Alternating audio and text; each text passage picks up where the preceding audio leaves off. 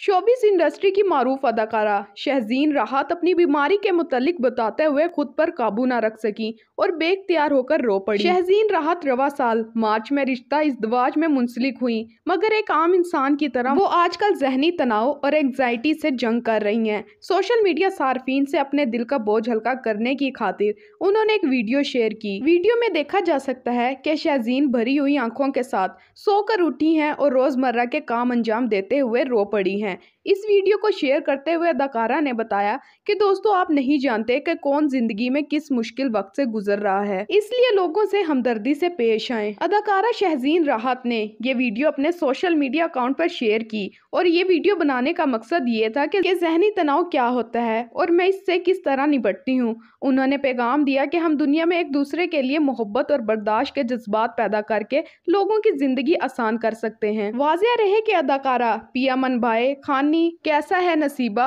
और वफा बेमोल जैसे ड्रामों में अदाकारी कर चुकी हैं इसके अलावा शहजीन राहत लॉलीवुड की मुतद फिल्मों का भी हिस्सा रही हैं